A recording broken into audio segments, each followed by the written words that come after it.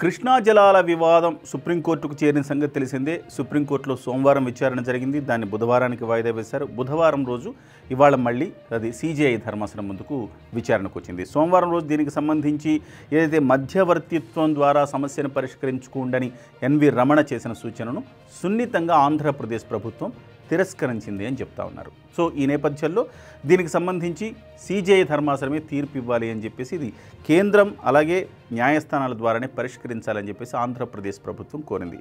వాస్తవానికి ఇది సోమవారం నాడు చర్చకు వచ్చిన విచారణకు వచ్చిన సంగతి తెలిసిందే. విచారణ సందర్భంగా పలు కీలకమైన వ్యాఖ్యలు చేశారు ఎన్వి రమణ. అయితే వాస్తవంగా చూస్తే కృష్ణా జలాలు ఏదైతే ఒప్పందం ప్రకారం చూస్తే కృష్ణా జలాలకు సంబంధించి ఆంధ్రప్రదేశ్కు అన్యాయం జరుగుతున్న మాట వాస్తవం. తెలంగాణ ప్రభుత్వం ఎక్కువగా వాడుతున్న మాట వాస్తవం. అయినప్పటికీ రెండు రాష్ట్రాలకు చెందిన వ్యక్తిగా దీని మీద నేను లీగల్గా ప్రొసీడ్ అవ్వలేను. లీగల్గా దీనికి పరిష్కారం చూపించలేను తీర్పు ఇవ్వలేనని చెప్పేసి ఆయన వ్యాఖ్యానించడం జరిగింది. అంతేకాకుండా గతంలో కూడా తాను దీని మీద న్యాయవాదిగా వాదనలు వినిపించాను. కాబట్టి దీని మీద నాకు లోతైన పరిజ్ఞానం కూడా ఉంది. కాబట్టి ఇది మధ్యవర్తిత్వమే దీనికి సరైన పరిష్కారం. ఇరు రాష్ట్రాల ప్రభుత్వాలు కూర్చొని చర్చించుకోండి. కావాలంటే సుప్రీంకోర్టు చీఫ్ జస్టిస్గా మా ధర్మాసనం నుంచి మీకు కావలసిన న్యాయ సలహాలు కావచ్చు మీకు కావాల్సిన సహకారం అందిస్తామని సోమవారం నాడు సీజే ఎన్వి రమణ చెప్పిన సంగతి మనకు తెలిసింది.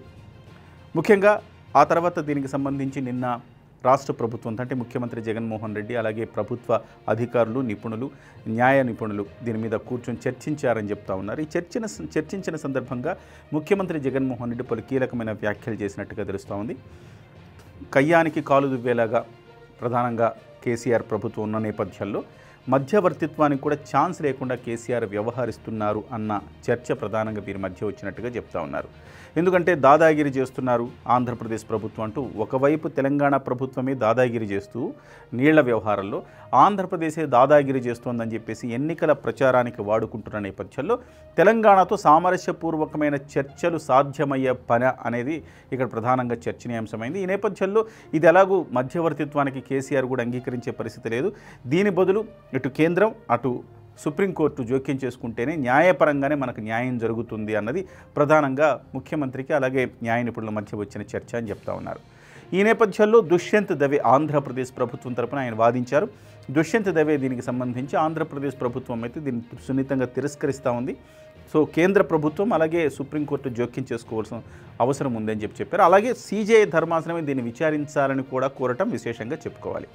అయితే ఇటువైపు కేంద్ర ప్రభుత్వం తరపున సొలిసిటర్ జనరల్ తుషార్ మెహతా కూడా ఇదే అంశాన్ని ప్రస్తావిస్తూ సుప్రీంకోర్టు సీజీఐ ఎన్వి రమణకు పరిపూర్ణమైన అవగాహన ఉంది కాబట్టి ఆయనే ఈ కేసుకు సంబంధించి తుది తీర్పు ఇవ్వాలి ఆయనే విచారించాలని కూడా ఆయన కోరటం జరిగింది. అయితే ఇదే అంశంలో గతంలో చెప్పినట్టుగానే నేను రెండు రాష్ట్రాలకు సంబంధించిన వ్యక్తిగా దీన్నైతే నేను లీగల్గా దీని మీద తీర్పు ఇవ్వలేను కాబట్టి వేరే ధర్మాసనానికి బదిలీ చేస్తానని చెప్పేసి సుప్రీంకోర్టు సీజే ఎన్వి రమణ చెప్పినట్టుగా చెప్తా ఉన్నారు. ఈ నేపథ్యంలో ఎప్పుడు ఏ ధర్మాసనానికి బదిలీ చేస్తారు? ఎప్పుడు దీని మీద మళ్ళీ విచారణ వస్తుంది? ఎప్పుడు తీర్పు వస్తుంది అన్నదైతే సర్వత్రా ఆసక్తి నెలకొంది. ఈ విషయాలు ఈ వివరాలు మాత్రం ప్రస్తుతానికి ఇంకా కోర్టు వెల్లడించలేదు. బహుశా ఈ వారంలో ఏ ధర్మాసనం ముందుకు వస్తుంది ఏ రోజు విచారణకు వస్తుంది అనేది మాత్రం చెప్తారని చెప్పేసి నిపుణులు చెప్తా ఉన్నారు.